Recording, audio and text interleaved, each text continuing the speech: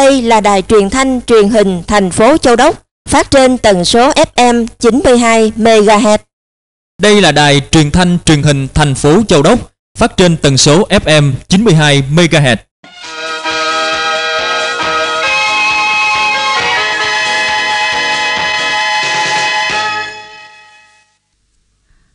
Mời quý vị và các bạn theo dõi chương trình thời sự của Đài Truyền thanh Truyền hình thành phố Châu Đốc. Hôm nay Chủ nhật, ngày 5 tháng 1 năm 2020. Quý vị và các bạn nghe đài thân mến, trong chương trình thời sự của Đài Truyền thanh Truyền hình thành phố Châu Đốc hôm nay có bài Đại hội thi đua yêu nước các cấp tạo động lực thúc đẩy kinh tế xã hội phát triển và bài Công đoàn An Giang đổi mới vì người lao động. Trước hết chúng tôi xin điểm lại một số nội dung nổi bật trong tuần. Kính mời quý vị và các bạn theo dõi. Trong tuần, Ủy ban nhân dân thành phố Châu Đốc tổ chức cuộc họp ra soát công tác chuẩn bị tổ chức các hoạt động mừng Đảng, mừng Xuân Canh Tý, lễ hội với Bà chủ xứ núi Sam và các ngày lễ lớn năm 2020. Để chuẩn bị tốt các điều kiện phục vụ nhân dân vui xuân, đón chào năm mới 2020 và Tết Nguyên đán Canh Tý năm 2020 vui tươi, lành mạnh, an toàn, tiết kiệm. Thành phố Châu Đốc sẽ tổ chức liên quan giai điệu mùa xuân lần thứ hai tại các phường xã, tổ chức triển lãm ảnh truyền thống 90 năm thành lập Đảng Cộng sản Việt Nam – Bộ ảnh về mừng đảng mừng xuân canh tí năm 2020, bộ ảnh thành tựu phát triển kinh tế, văn hóa xã hội thành phố Châu Đốc và thành tựu phát triển kinh tế, văn hóa xã hội tỉnh An Giang. Tổ chức chương trình văn nghệ đặc biệt đón giao thừa, các hoạt động thể dục thể thao, trò chơi dân gian.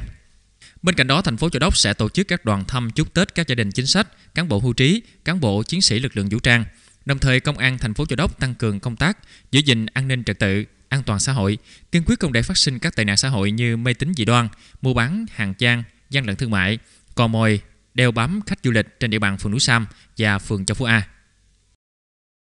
Ban Thường vụ tỉnh ủy An Giang, Ban Thường vụ Thành ủy Châu Đốc phối hợp tổ chức hội nghị trực tuyến góp ý các dự thảo văn bản của Trung ương. Tại hội nghị, các đại biểu đã được nghe các nội dung báo cáo tổng kết 5 năm thực hiện hướng dẫn số 04 ngày 6 tháng 10 năm 2014 của Ban Bí thư về một số vấn đề thực hiện quy chế bầu cử trong đảng tờ trình và quy định của Ban Bí thư hướng dẫn việc sắp xếp tổ chức đảng, mặt trận tổ quốc và các đoàn thể chính trị xã hội ở những địa phương thực hiện sắp xếp đơn vị hành chính. Hội chữ thập đỏ thành phố Châu Đốc tổ chức tổng kết công tác hội phong trào chữ thập đỏ năm 2019 và phương hướng nhiệm vụ năm 2020. Năm 2019, công tác hội và phong trào chữ thập đỏ thành phố Châu Đốc có bước phát triển mới. Các hoạt động của hội ngày càng thực chất, hiệu quả, đảm bảo an sinh xã hội trên địa bàn. Tổng trị giá công tác hội và phong trào chữ thập đỏ năm 2019 toàn thành phố là 10 tỷ 876 triệu đồng, giúp cho 530.333 lượt người. Trong đó, tổ chức vận động thực hiện phong trào Tết vì người nghèo và nạn nhân chất độc da cam, phát 2.185 phần quà cho hộ nghèo, khó khăn, nạn nhân chất độc da cam, với tổng số tiền 532 triệu đồng. Các cấp hội đã chủ động tích cực vận động các tầng lớp nhân dân tham gia hưởng ứng phong trào với nhiều hình thức hoạt động như tổ chức thăm hỏi, tặng quà cho 66 trường hợp, người già neo đơn, trẻ mồ côi. Cuộc vận động mỗi tổ chức, mỗi cá nhân gắn với một địa chỉ nhân đạo đạt kết quả cao. Trong năm đã kết nối, phối hợp với nhiều cơ quan doanh nghiệp, nhà hảo tâm, ủng hộ nguồn lực để tổ chức các hoạt động nhân đạo. Công tác chăm sóc sức khỏe có nhiều mô hình mới, đặc biệt đã tập trung bồi dưỡng đội ngũ tập quấn viên sơ cấp cứu để đáp ứng yêu cầu phổ biến kiến thức sơ cấp cứu trong cộng đồng. Công tác hiến máu tình nguyện thu được kết quả đáng phấn khởi với sự tham gia của đông đảo các tầng lớp nhân dân, tiếp nhận được 563 đơn vị máu,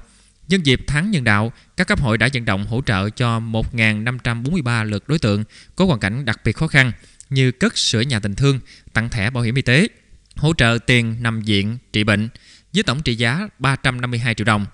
Thực hiện phong trào cất nhà chữ thập đỏ đã cất mới 4 căn nhà, sửa chữa 9 căn với tổng số tiền 330 triệu đồng, vận động xây dựng sửa chữa 5 cây cầu đường, đổ cát, đá, tu bổ lộ giao thông nông thôn được 1.500 m với tổng số tiền 306 triệu đồng.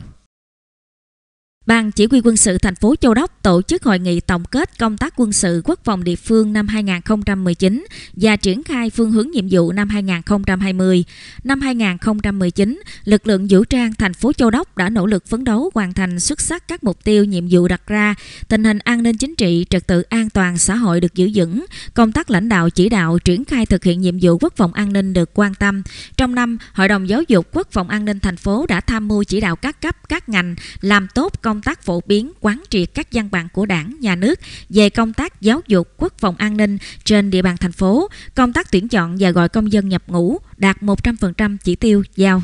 Bên cạnh đó, công tác xây dựng củng cố thế trận quốc phòng toàn dân, an ninh nhân dân, biên phòng toàn dân, xây dựng khu vực phòng thủ tiếp tục được tổ chức hiệu quả. Công tác đối ngoại, quân sự luôn được duy trì mối quan hệ đoàn kết, hữu nghị, hợp tác với chính quyền, lực lượng vũ trang, nhân dân Campuchia. Năm 2019, Ban Chỉ huy quân sự thành phố Châu Đốc đã tổ chức các đoàn công tác sang thăm, tặng quà, khám chữa bệnh cho nhân dân. Huyện Borachusa, tỉnh Tà Keo vào các ngày lễ Tết được 400 suất với tổng số tiền 140 triệu đồng. Đồng thời, các lực lượng quân sự, công an, biên phòng đã chủ động triển khai nhiều kế hoạch, phương án đảm bảo tốt an ninh trật tự trên các tuyến biên giới, lĩnh vực, địa bàn trọng điểm, không để xảy ra bị động, bất ngờ, đảm bảo giữ vững ổn định chính trị và trật tự an toàn xã hội trên địa bàn thành phố Châu Đốc.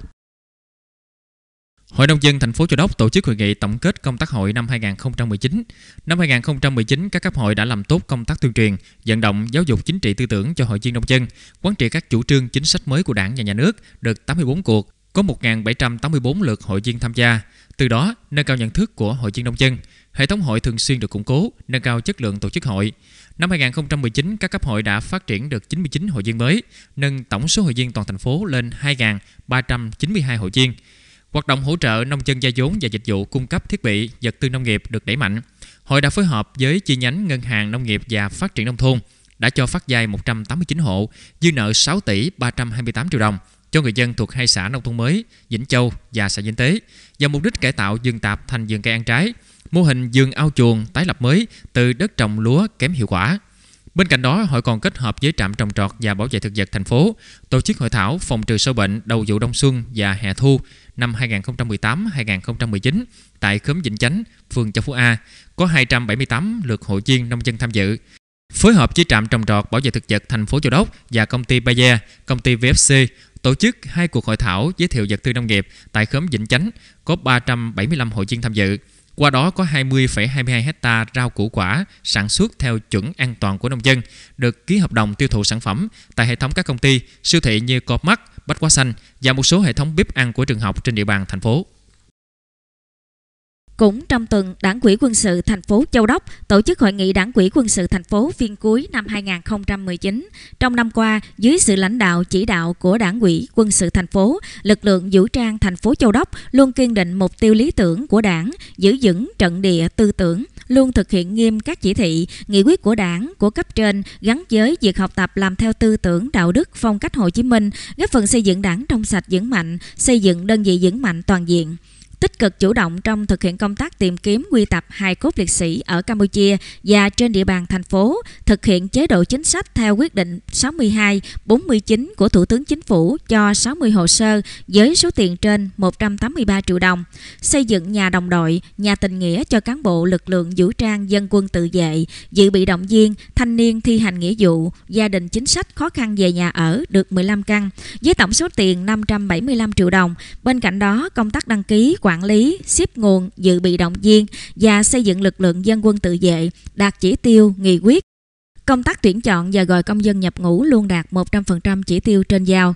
Công tác đối ngoại quốc phòng thực hiện có hiệu quả, quan hệ chặt chẽ với lực lượng vũ trang, chính quyền và nhân dân hai xã Chay Chốt và xã Kambo Krosang, huyện Parachusa, tỉnh Tà Keo, Dương quốc Campuchia, góp phần xây dựng biên giới hòa bình hữu nghị, ổn định và phát triển. Cùng với đó, công tác huấn luyện cơ quan và dân quân tự vệ, giáo dục bồi dưỡng kiến thức quốc phòng an ninh, thực hiện chính sách hậu phương quân đội, chất lượng tổng hợp, sức mạnh chiến đấu của lực lượng vũ trang thành phố tiếp tục được củng cố và tăng cường. Công tác xây dựng đảng có nhiều chuyển biến tích cực, năng lực lãnh đạo, sức chiến đấu của đảng luôn được nâng cao. Năm 2019, Đảng Bộ Quân sự thành phố hoàn thành xuất sắc nhiệm vụ, đạt đơn vị vững mạnh toàn diện.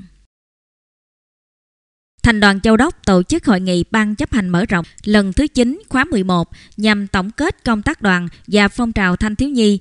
năm 2019, triển khai phương hướng nhiệm vụ năm 2020. Năm 2019, công tác đoàn và phong trào thanh thiếu nhi của thành phố Châu Đốc đạt và vượt nhiều chỉ tiêu đề ra như 100% cơ sở đoàn và đoàn trực thuộc xây dựng được ít nhất một mô hình thực hiện hiệu quả chỉ thị số 05 của Bộ Chính trị về đẩy mạnh học tập và làm theo tư tưởng đạo đức phong cách Hồ Chí Minh, phát triển 1.469 đoàn viên, 1.411 hội viên, 92,22% thiếu nhi trong độ tuổi vào đội thiếu niên tiền phong Hồ Chí Minh. Mỗi cơ sở đoàn và đoàn trực thuộc có ít nhất một công trình thanh niên, cất mới 8 căn nhà nhân ái. Với chủ đề Tuổi trẻ Châu Đốc tự hào tiến bước dưới cờ đảng năm 2020,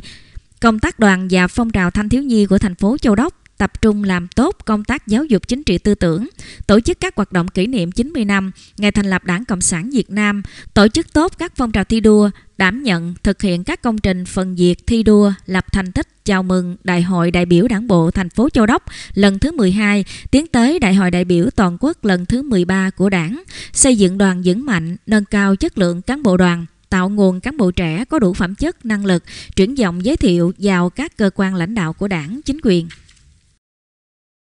Ủy ban Nhân dân thành phố Châu Đốc tổ chức hội nghị tập huấn bồi dưỡng nghiệp vụ công tác thi đua khen thưởng năm 2019. Tại buổi tập huấn, các đại biểu được triển khai một số nội dung về quy chế công tác thi đua khen thưởng trên địa bàn tỉnh An Giang như quy định chung, tổ chức thi đua, tiêu chuẩn danh hiệu thi đua, hình thức, đối tượng, tiêu chuẩn, khen thưởng, thủ tục và hồ sơ đề nghị khen thưởng, quản lý nhà nước về công tác thi đua khen thưởng, quỹ thi đua khen thưởng và một số biểu mẫu khen thưởng. Thông qua lớp tập huấn, nhằm giúp cho đội ngũ cán bộ công chức trực tiếp làm công tác thi đua khen thưởng, có điều kiện cập nhật bổ sung, nâng cao kiến thức về chuyên môn nghiệp vụ một cách có hệ thống, từ đó tăng cường trách nhiệm, triển khai thực hiện tốt công tác thi đua khen thưởng tại cơ quan đơn vị.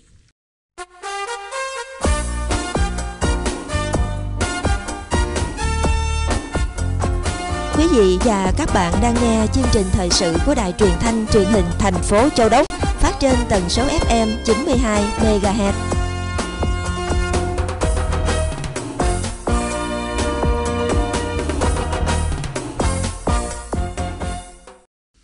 Thưa quý vị và các bạn, năm 2020 là năm cuối của nhiệm kỳ, có ý nghĩa quyết định trong việc hoàn thành thắng lợi nghị quyết Đại hội 12 của Đảng. Năm tiến hành tổ chức Đại hội Đảng bộ các cấp tiến tới Đại hội Toàn quốc lần thứ 13 của Đảng và nhiều sự kiện chính trị trọng đại khác. Để tạo không khí thi đua, Ủy ban Nhân dân tỉnh đã ban hành kế hoạch tổ chức Đại hội thi đua yêu nước các cấp tiến tới Đại hội thi đua yêu nước toàn quốc lần thứ 10. Sau đây kính mời quý vị và các bạn cùng nghe bài Đại hội thi đua yêu nước các cấp tạo động lực thúc đẩy kinh tế xã hội phát triển. Theo kế hoạch, Đại hội thi đua yêu nước các cấp tiến tới Đại hội thi đua yêu nước toàn quốc lần thứ 10 được tổ chức từ quý 1 đến quý 3 năm 2020. Cụ thể, các cấp cơ sở tổ chức Hội nghị điển hình tiên tiến, Hội nghị biểu dương gương người tốt, việc tốt, Hội nghị biểu dương những người lao động giỏi, lao động sáng tạo hoặc Đại hội thi đua yêu nước vào quý 1 năm 2020 cấp trên cơ sở tổ chức Đại hội thi đua yêu nước hoặc Hội nghị điển hình tiên tiến vào quý 2 năm 2020 cấp tỉnh tổ chức Đại hội thi đua yêu nước vào quý 3 năm 2020. Đại hội tập trung biểu dương thành tích các phong trào thi đua yêu nước và tôn vinh các tập thể cá nhân anh hùng, chiến sĩ thi đua, các gương điển hình tiên tiến, tiêu biểu trong các ngành, các cấp, các lĩnh vực dùng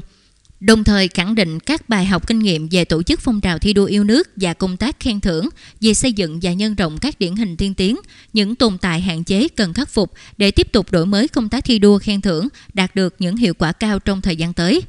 Chủ tịch Ủy ban Nhân dân tỉnh Nguyễn Thanh Bình yêu cầu từ nay đến Đại hội thi đua yêu nước các cấp tiến tới Đại hội thi đua yêu nước toàn quốc lần thứ 10, các ngành các cấp địa phương cần tập trung đẩy mạnh tuyên truyền về tư tưởng thi đua yêu nước của Chủ tịch Hồ Chí Minh và các chủ trương đường lối của đảng, chính sách pháp luật của nhà nước về thi đua khen thưởng, những điển hình trong các phong trào thi đua yêu nước, tổ chức các hoạt động tôn vinh điển hình tiên tiến gắn với các ngày lễ kỷ niệm trọng đại của đất nước trong năm 2020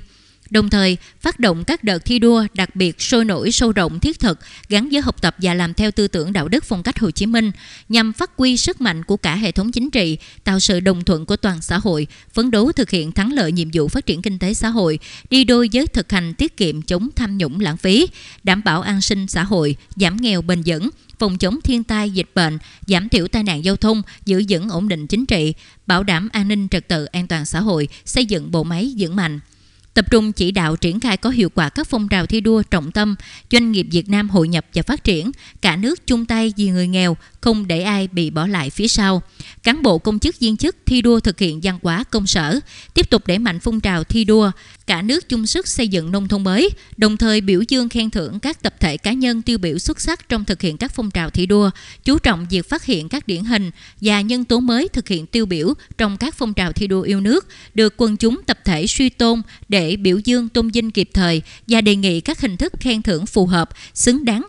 Đồng thời có kế hoạch bồi dưỡng nhân rộng để các điển hình tiêu biểu được lan tỏa trong cuộc sống. Các cơ quan thông tin truyền thông tập trung tuyên truyền về đại hội thi đua, biểu dương ghi nhận những thành quả của phong trào thi đua yêu nước trên tất cả các lĩnh vực của đời sống xã hội, góp phần phát triển kinh tế xã hội đảm bảo quốc phòng an ninh của đất nước, mở rộng nhiều hình thức tuyên truyền biểu dương các điển hình tiên tiến, các nhân tố mới gương người tốt, việc tốt, tạo không khí sôi nổi, chào mừng các ngày kỷ niệm lớn trong năm 2019 và năm 2020.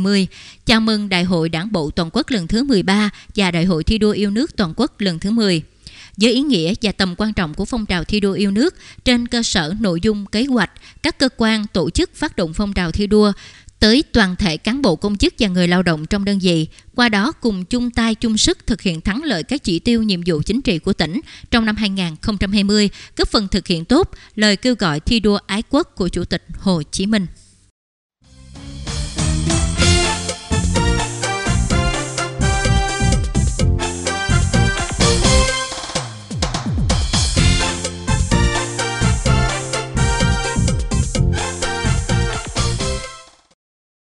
Thưa quý vị và các bạn, năm 2019 tiếp tục thực hiện chủ đề hoạt động vì lợi ích đoàn viên công đoàn chào mừng kỷ niệm 90 năm ngày thành lập Công đoàn Việt Nam 28 tháng 7 năm 1929, 28 tháng 7 năm 2019 gắn với các mục tiêu nhiệm vụ kinh tế xã hội, các cấp công đoàn có nhiều quyết tâm đổi mới sáng tạo trong cách nghĩ, cách làm mang lại nhiều kết quả nổi bật được sự đồng thuận ủng hộ của cán bộ đoàn viên công nhân viên chức người lao động. Sau đây kính mời quý vị và các bạn cùng nghe bài Công đoàn An Giang đổi mới vì người lao động.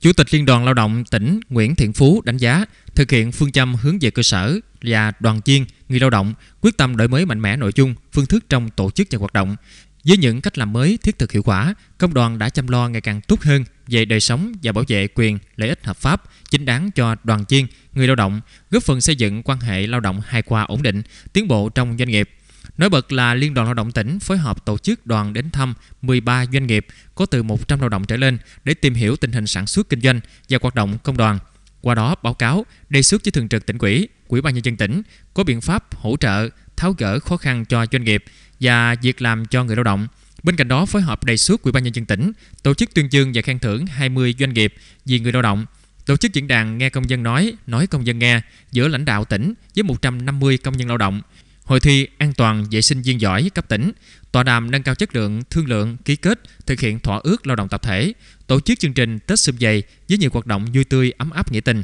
Riêng trong tháng công nhân năm 2019, có 1.548 công đoàn cơ sở tổ chức nhiều hoạt động chăm lo lợi ích cho 21.103 đoàn viên với tổng số tiền trên 52 tỷ đồng. Thiết thực trong công tác chăm lo còn có các việc làm cụ thể hướng đến người lao động tại nơi làm việc. Liên đoàn Lao động tỉnh đã tranh thủ vận động được 10 doanh nghiệp quan tâm nâng mức hỗ trợ bữa ăn ca cho công nhân từ 10.000 đồng đến 13.000 đồng lên 15.000 đồng một suất hợp đồng với bệnh viện Đại học Y Dược Thành phố Hồ Chí Minh khám tầm soát sức khỏe và tổ chức tham quan học tập kinh nghiệm cho gần 2.000 đoàn viên ở các công đoàn cơ sở trong tỉnh với kinh phí gần 2 tỷ đồng theo phương thức đối ứng 70-30. Đặc biệt đã khởi công xây dựng trường mầm non công đoàn với tổng kinh phí gần 15 tỷ đồng từ sự hỗ trợ của Tổng Liên đoàn Lao động Việt Nam, Quỹ ban nhân dân tỉnh và nguồn tài chính công đoàn tỉnh hợp tác với một doanh nghiệp ở thành phố Hồ Chí Minh xây dựng cửa hàng tiện ích công đoàn tại khu công nghiệp Bình Hòa trị giá gần 0,8 tỷ đồng nhằm giải quyết những nhu cầu bức thiết cho đoàn viên người lao động và là công trình thi đua chào mừng Đại hội Đảng bộ tỉnh lần thứ 11, nhiệm kỳ 2020-2025. Trong năm thực hiện chương trình phúc lợi đoàn viên, Liên đoàn Lao động tỉnh và cấp huyện đã ký kết hợp tác với gần 30 đơn vị doanh nghiệp trong tỉnh có chính sách ưu đãi, giảm giá hàng hóa, dịch vụ từ 5 đến 30% cho đoàn viên công đoàn. Kết quả có gần 75.000 lượt đoàn viên được thụ hưởng với số tiền ưu đãi trên 8 tỷ đồng. hỗ trợ 121 căn nhà máy ấm công đoàn cho đoàn viên khó khăn về nhà ở, cất mới 87 căn, sửa chữa 34 căn với số tiền 4,2 tỷ đồng. Liên đoàn Lao động tỉnh đã chú trọng đổi mới hình thức tuyên truyền để phù hợp với đối tượng ngành nghề, nội dung ngắn gọn xúc tích. Trong từng cuộc tuyên truyền đã tăng cường đối thoại trực tiếp giữa báo cáo viên và người lao động, trình chiếu video clip, hình ảnh minh họa, hỏi đáp, đố vui có thưởng, tổ chức game show, hội thi, thu hút hàng ngàn lượt công dân viên chức, người lao động tham dự. Đồng thời tăng cường tuyên truyền, thông tin nhanh về các hoạt động công đoàn, các mô hình, cách làm mới qua mạng Zalo, Facebook, cải tiến chất lượng trang website công đoàn tỉnh, phối hợp các cơ quan truyền thông, báo chí thực hiện trên 400 tin, bài viết, bài phóng sự phát thanh truyền hình với nội dung nổi bật trong hoạt động công đoàn từ tỉnh đến cơ sở, các gương cán bộ, đoàn viên, công nhân lao động tiêu biểu. Ngoài ra, các công đoàn cơ sở phối hợp chuyên môn tổ chức trên 568 cuộc tuyên truyền, phổ biến pháp luật cho trên 16.390 lượt người. Phong trào thi đua chào mừng kỷ niệm 90 năm ngày thành lập Công đoàn Việt Nam gắn với thi đua lao động giỏi, lao động sáng tạo, thi đua dân vận khéo trong xây dựng nông thôn mới đã được triển khai và có sức lan tỏa sâu rộng. Liên đoàn Lao động tỉnh đã long trọng tổ chức lễ kỷ niệm 90 năm ngày thành lập Công đoàn Việt Nam, kết hợp tuyên dương 90 chủ tịch công đoàn cơ sở tiêu biểu, tặng logo Công đoàn An Giang cho 116 cán bộ công đoàn chuyên trách qua các thời kỳ tổ chức lễ tuyên chương trao tặng bằng lao động sáng tạo của Tổng Liên đoàn Lao động Việt Nam và bằng khen Ủy ban nhân dân tỉnh cho 78 công nhân lao động tiêu biểu, 14 công đoàn cấp trên trực tiếp cơ sở và 650 công đoàn cơ sở trong tỉnh đã thực hiện 678 công trình phân việc thi đua trên các lĩnh vực. Đặc biệt từ nguồn quỹ xã hội công đoàn và vận động xã hội hóa, Liên đoàn Lao động tỉnh đã phối hợp huyện Tri Tôn xây dựng công trình nâng cấp di tích lịch sử cách mạng cấp quốc gia Ô Tà Sóc trị giá hơn 1,7 tỷ đồng. Liên đoàn Lao động tỉnh đối ứng 600 triệu đồng hỗ trợ quyền tình biên xây dựng cầu kênh Sáng Cục ở xã Núi Dôi. Liên đoàn Lao động tỉnh đối ứng 300 triệu đồng. Với những thành quả đạt được trong năm 2019, Liên đoàn Lao động An Giang được Tổng Liên đoàn Lao động Việt Nam tặng cờ thi đua là đơn vị dẫn đầu Liên đoàn Lao động các tỉnh đồng bằng sông Cửu Long.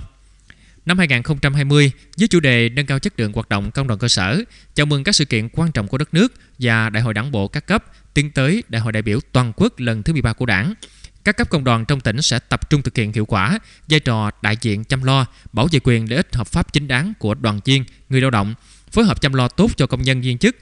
người lao động có điều kiện vui xuân đón Tết Nguyên đán canh tí. Các hoạt động tuyên truyền giáo dục tiếp tục được quan tâm, đẩy mạnh với trọng tâm là kỷ niệm 90 năm ngày thành lập Đảng Cộng sản Việt Nam, 130 năm ngày sinh Chủ tịch Hồ Chí Minh, gắn với thực hiện chỉ thị 05 CT trên TVK của Bộ Chính trị về đẩy mạnh học tập và làm theo tư tưởng đạo đức phong cách Hồ Chí Minh. Công đoàn tham gia đóng góp ý kiến vào các dự thảo văn kiện đại hội đảng bộ các cấp, tuyên truyền các văn bản pháp luật mới có liên quan đến cán bộ công chức viên chức và người lao động, tổ chức tháng công nhân gắn với tháng an toàn vệ sinh lao động, nâng cao bản lĩnh chính trị, trình độ, kỹ năng nghề nghiệp của đoàn viên, người lao động. Mỗi tổ chức công đoàn sẽ nghiên cứu, lựa chọn, đăng ký thi đua thực hiện các công trình, phần việc, giải pháp, sáng kiến mới ở từng lĩnh vực, địa bàn công tác, góp phần hoàn thành thắng lợi các nhiệm vụ chính trị, kinh tế xã hội ở địa phương, đơn vị, doanh nghiệp, hướng tới Đại hội thi đua yêu nước toàn quốc trong công nhân viên chức, người lao động lần thứ 10, góp phần xây dựng đảng chính quyền, xây dựng tổ chức công đoàn vững mạnh.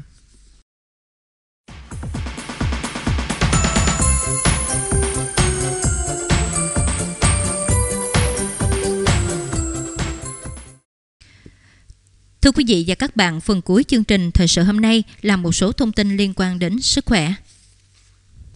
Bạn có biết những thói quen này đang quỷ hoại thận? Thận là một cơ quan quan trọng của cơ thể, giúp lọc các chất thải khỏi máu ra nước tiểu. Sau đây là những thói quen có thể quỷ hoại thận. Không uống đủ nước. Chức năng chính của thận là lọc các chất thải của quá trình trao đổi chất. Bạn cần uống đủ nước để duy trì sự cân bằng hồng cầu, nếu không các độc tố sẽ tích tụ lại trong máu. Nhìn tiểu quá lâu, Nhịn tiểu quá lâu có thể gây ra các vấn đề về đường tiết niệu, thủy thủng thận, tăng áp lực nước tiểu trong thận là một số vấn đề có thể gây biến chứng nguy hiểm cho thận. Tiểu không kiểm soát là một hậu quả khác của việc nhịn đi tiểu. Ăn quá nhiều muối một chức năng khác của thận là trung hòa lượng natri mà ta hấp thụ. Khi ta ăn quá nhiều muối, nguồn natri chính, thận phải liên tục bài tiết natri dẫn đến áp lực về lâu dài cho cơ quan này. Caffeine và nước ngọt có ga nhiều loại nước ngọt có chứa caffeine, một chất có thể làm tăng huyết áp. Quá nhiều caffeine có thể gây áp lực lên thận, khiến thận tổn thương. Lạm dụng thuốc giảm đau Lạm dụng thuốc giảm đau có thể hủy hoại thận của bạn. Bạn không nên dùng thuốc giảm đau nếu cơn đau không quá nghiêm trọng bởi thuốc giảm đau có nhiều tác dụng phụ làm giảm lưu thông máu và khiến chức năng thận suy giảm. Quá nhiều protein, ăn quá nhiều thức ăn có chứa protein có thể ảnh hưởng xấu đến sức khỏe của bạn. Một trong những tác động đó là làm hại thận. Ăn quá nhiều thịt đỏ và các thức ăn giàu protein khác làm tăng áp lực trao đổi chất của thận. Lờ đi những cơn cảm lạnh và cảm cúm. Chúng ta thường không xem cảm lạnh và cảm cúm là vấn đề sức khỏe nghiêm trọng. Nghiên cứu cho thấy những người không chịu nghỉ ngơi khi bị ốm có nguy cơ mắc bệnh thận cao. Lạm dụng cồn, uống quá nhiều bia rượu là một thói quen hại thận vì bia rượu chứa nhiều độc tố gây áp lực lên thận. Không kiểm soát ăn uống, bạn hạn chế ăn các thực phẩm có hàm lượng chất béo cao và bánh kẹo. Hãy ăn các món ăn giặt lành mạnh, hoa quả và trái cây tươi ngũ cốc nguyên hạt, thịt nạc và các sản phẩm không sữa.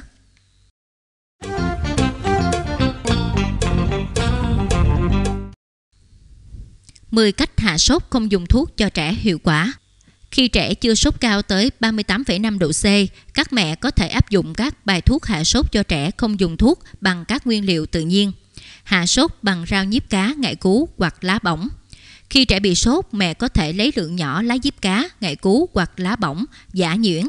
Dùng miếng giải bọc lại và đắp lên trán trẻ. Đắp trong vòng nửa tiếng rồi lấy nước ấm lau sạch. Đây là cách giúp hạ sốt nhanh cho trẻ mà không cần dùng thuốc. Hạ sốt bằng dầu tràm hoặc tinh dầu quải hương. Các loại tinh dầu này có tác dụng thông mũi giảm sốt, vì thế khi thấy trẻ có triệu chứng sốt nhẹ, nên cho bé tắm với nước ấm, và nhỏ vài giọt tinh dầu và tắm trong phòng kính. Hạ sốt bằng hành tây khi trẻ có dấu hiệu cảm sốt, bạn có thể quấn hành tây quanh cổ tay trái của trẻ hoặc đặt lát hành tây dưới lòng bàn chân. Việc này sẽ giúp giảm ho, đờm và hạ sốt. Hạ sốt bằng chanh tươi Chanh tươi là một thực phẩm hữu hiệu trong việc hạ sốt nhanh. Cắt chanh thành các lát mỏng và đắp lên trán, khuỷu tay, chân và dọc sống lưng trẻ. Mẹ sẽ thấy hiệu quả tức thì. Hạ sốt bằng cách dùng tất ướt. Khi thấy con mình bị sốt, các bà mẹ có thể lấy một chiếc tất dài, nhúng nước ấm, dắt ráo nước rồi cuốn một vòng vào cổ chân và bàn chân của bé. Khi tất lạnh, hãy lặp lại quy trình và làm liên tục cho tới khi cơ thể bé hạ nhiệt. Hạ sốt bằng tí tô. Tí tô là một loại cây chứa nhiều tinh dầu tốt cho sức khỏe, có khả năng giảm đau, giải cảm hạ sốt. Vì thế khi bé bị sốt, mẹ có thể xoay nhuyễn lá tí tô rồi chắc lấy nước cốt cho bé uống để hạ sốt. Hạ sốt bằng cách ăn kem. Khi mẹ thấy con có biểu hiện sốt, hãy cho bé ăn một que kem lạnh. Nhiệt độ thấp của kem giúp cơ thể hạ nhiệt, làm mát nhanh chóng. Tuy nhiên, việc này có khả năng dẫn đến viêm họng, lạnh bụng và đau bụng. Hạ sốt bằng nước lá nhỏ nồi. Lấy một nắm cây nhỏ nồi rửa sạch và ngâm vào nước muối loãng trong khoảng 10 phút, sau đó đun sôi để nguội rồi dứt ra giả nát, lọc lấy nước cho trẻ uống. Việc này sẽ giúp bé hạ nhiệt nhanh chóng. Món ăn hạ sốt hiệu quả cho bé. Bé bị sốt cao khiến cho cơ thể trẻ ra nhiều mồ hôi, dễ bị kiệt sức bớt nước, mắt và miệng khô. Mẹ nên cho bé ăn các loại thức ăn dạng lỏng, dễ tiêu hóa và cho uống nhiều nước ấm hơn so với hàng ngày. Sử dụng miếng dán hạ sốt. Trong trường hợp trẻ khó tính và nhạy cảm thì mẹ có thể dán miếng dán hạ sốt để hạ thân nhiệt, giảm sốt cho con. Lưu ý quan trọng khi hạ sốt cho trẻ, những phương pháp hạ sốt trên mặc dù hiệu quả nhưng chỉ thích hợp với trường hợp trẻ sốt nhẹ dưới 39 độ C. Trường hợp trẻ sốt cao từ 39 độ trở lên thì cần cho uống thuốc hạ sốt và đưa trẻ tới bệnh viện để khám sức khỏe.